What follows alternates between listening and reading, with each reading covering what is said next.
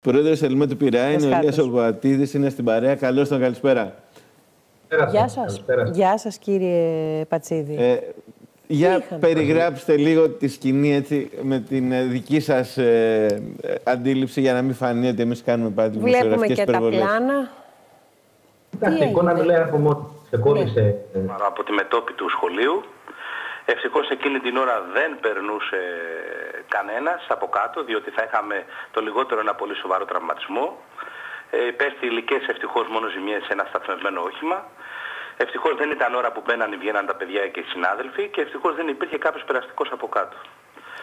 Ε, Είναι τα σχολεία σε κακή κατάσταση; Δεν γίνεται ναι, συντήρηση, κύριε Πατσίδη; Υπάρχει σοβαρό πρόβλημα. Θέλω μόνο να σας πω, αυτό το σχολείο πρόκειται για ε, ένα από τα πολλά σχολεία του Πειραιά που αντιμετωπίζουν τεράστια προβλήματα. Πρόκειται για μια μισθωμένη παλιά πολυκατοικία στο κέντρο του Πειραιά, για την οποία πληρώνουμε εμείς οι εργαζόμενοι, οι φορολογούμενοι, πολλές χιλιάδες ευρώ το μήνα για ενίκιο.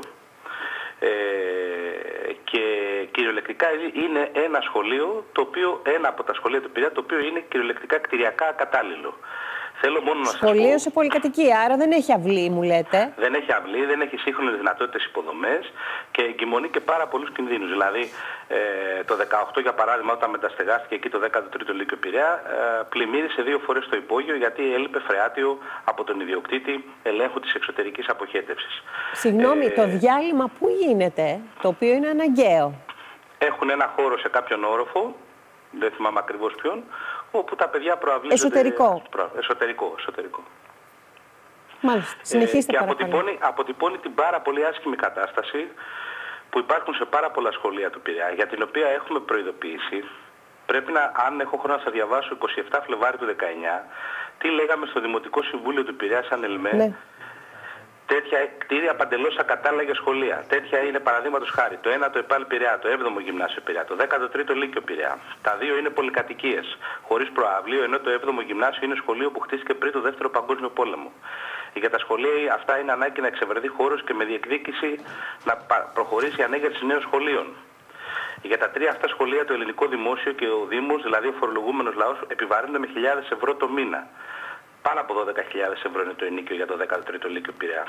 Την ίδια ώρα που ο ιδιώτης εισπράττει ένα τέτοιο ενίκιο, δεν προχωρά ακόμα και στις στοιχειώδεις εργασίες, παρεμβάσεις, αποκατάστασης και ούτω καθεξής. Αυτό το Φλεβάρι του 19 τα σημειώναμε. Συνεπώς αυτό που συνέβη δεν αποτελεί κεραυνό ενεθρία. Τα σχολικά κτίρια εκπέμπουν σως. Είναι αφημένα, η χρηματοδότηση των σχολείων έχει πετσοκοπεί από τον κρατικό προπολογισμό. Οι Δήμοι δηλώνουν αδυναμία σε πολλές περιπτώσεις να ανταποκριθούν στα βασικά αιτήματα των σχολείων λόγω έλλειψης χρημάτων ή προσωπικού και συγγνώμη που θα το πω, όπως και οι σιδηροδρομικοί δυστυχώς προφητικά προειδοποιούσαν, προειδοποιούμε εδώ και πάρα πολλά χρόνια και εκπαιδευτικοί, όχι μόνο στον Πειραιά, είναι θέμα χρόνου, δεν, δεν παίζουμε με αυτά τα πράγματα, δεν λέμε ωραίες, πώς θα το πω, υπερβολικές φράσεις για να εντυπωσιάσουμε. Δυστυχώς κυριολεκτούμε σε αυτό. Είναι δυστυχώς θέμα χρόνου να συμβεί κάποιο πιο σοβαρό περιστατικό. Μάλιστα. Έχετε στείλει, υποθέτω, όλα αυτά τα έγγραφα στις αρμόδιες υπηρεσίες, έτσι δεν είναι; Έχουμε, έχουμε δημόσια αναδείξει τα ζητήματα αυτά. Εδώ υπάρχει ένα ζήτημα τώρα. Αλήθεια, δεν πρέπει κάποιος να ασχοληθεί. Πέφτει ένα μάρμαρο από μία ταράτσα σε ένα σχολείο. Δεν ξέρω, δεν πρέπει κάποιος να ασχοληθεί. Ακόμα και αν δεν ήταν σχολείο, θα πρέπει κάποιος να ασχοληθεί. Και αυτό είναι προφανές που λέτε. Σε ό,τι αφορά εμάς, το σχολείο το κάνατε μόνος σας. Είστε μία από τις συνδικαλιστικές οργανώσεις, εδώ πέρα μιλάμε για τα παιδιά μας και τα σχολεία, η οποία επισημαίνει εδώ και χρόνια, είπατε το έγγραφο που διαβάζατε, αν συγκράτησα σωστά, είναι από το Φλεβάρι του 19. Αυτό σε διαβάζω απόσπασμα ναι, από την παρέμβαση της ΕΛΜΕ στο Δημοτικό Συμβούλιο Πειραιά το Φλεβάρι του 19. Αυτό είναι τέσσερα χρόνια πριν. Τέσσερα χρόνια πριν. Και ένας μήνας πια. Οπότε θέλω να πω ότι επειδή πολλά ακούγονται, και δεν είναι όλα λάθος. Και εργατοπατερισμός υπάρχει και συνδικαλιστές της Λούφας υπάρχουν.